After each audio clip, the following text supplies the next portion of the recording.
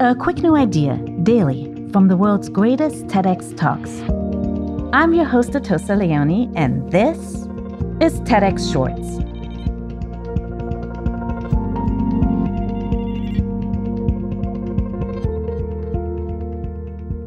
The scientific process is long and challenging for the same reasons it works as well as it does. Scientists question and experiment relentlessly to gather data and evidence.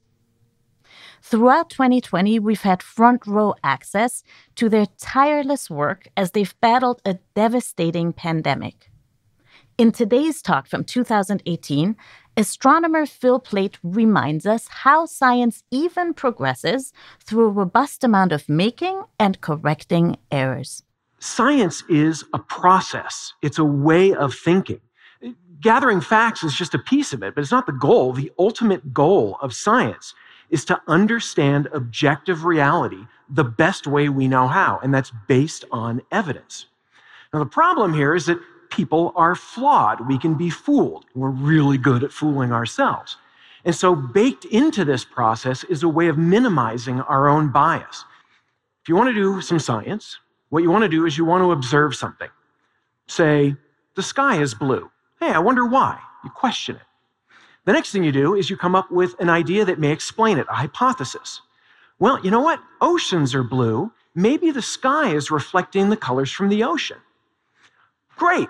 But now you have to test it. So you predict what that might mean. Your prediction would be well, if the sky is reflecting the ocean color, it'll be bluer on the coasts than it will be in the middle of the country. Okay, that's fair enough, but you got to test that prediction. So you get on a plane, you leave uh, Denver on a nice gray day, you fly to LA, you look up, and the sky is gloriously blue. Hooray, your thesis is proven. But is it really? No. You've made one observation. You need to think about your hypothesis, think about how to test it, and do more than just one. Maybe you could go to a different part of the country or a different part of the year and see what the weather's like then. Another good idea is to talk to other people. They have different ideas, different perspectives, and they can help you. This is what we call peer review. Now, what happens if your hypothesis does a decent job, but not a perfect job? Well, that's okay because what you can do is you can modify it a little bit and then go through this whole process again. Make predictions, test them, and do that. And as you do that over and over again, you will hone this idea. And if it gets good enough, it may be accepted by the scientific community, at least provisionally, as a good explanation of what's going on, at least until a better idea or some contradictory evidence comes along. One of science's weaknesses is that it's done by people, and we bring a lot of baggage along with us when we investigate things. We are egotistical, we are stubborn, we're superstitious, we're tribal, we're humans. These are all human traits, and scientists are humans. And so we have to be aware of that when we're, when we're uh, studying science and when we're trying to, to develop our, our theses. But part of this whole thing part of the scientific process, part of the scientific method, is admitting when you're wrong. I know, I've been there. Scientists don't love being wrong, but we love puzzles. And the universe is the biggest puzzle of them all. Now, having said that, if you have a piece and it doesn't fit, no matter how you move it, jamming it in harder isn't going to help. There's going to be a time where you have to let go of your idea if you want to understand the bigger picture. The price of doing science is admitting when you're wrong, but the payoff is the best there is knowledge and understanding. And I can give you a thousand examples of this in science, but there's one I really like. When you look at the sun, it seems special. It is the brightest object in the sky. But having studied astronomy, physics, chemistry, thermodynamics for centuries, we learned something very important about it. It's not that special. It's a star just like millions of other stars. But that raises an interesting question. If the sun is a star and the sun has planets, do these other stars have planets? In 1991, a couple of astronomers, uh, uh, Alexander Lin, uh, Andrew Lyne, pardon me, and Matthew Bailes, had a huge announcement. They had found a planet orbiting another star. After they made the announcement, a bunch of other astronomers commented on it, and so they went back and looked at their data and realized they had made a very embarrassing mistake.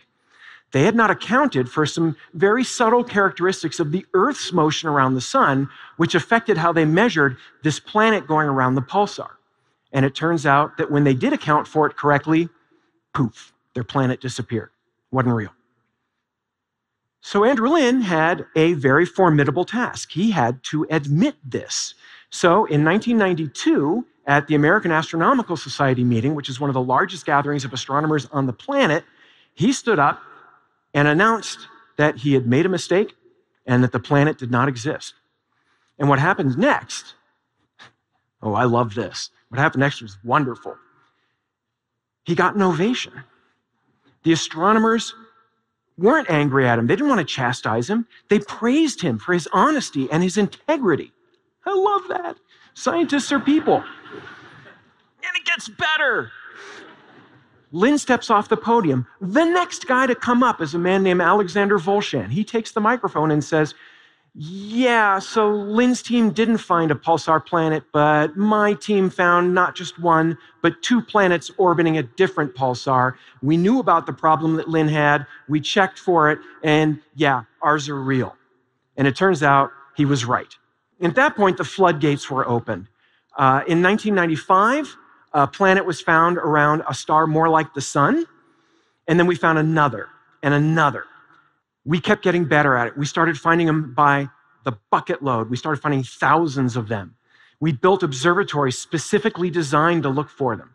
And now we know of thousands of them. We even know of planetary systems. This is incredible. Think about that. For all of human history, you could count all the known planets in the universe on two hands nine, eight, nine, eight, eight.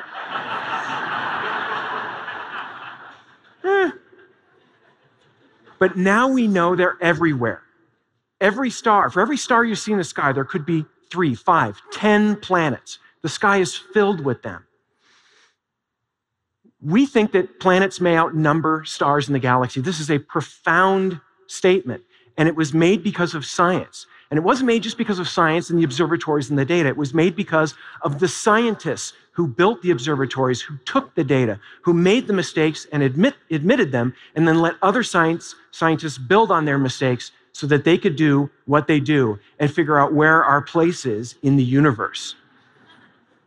That is how you find the truth. Science is at its best when it dares to be human.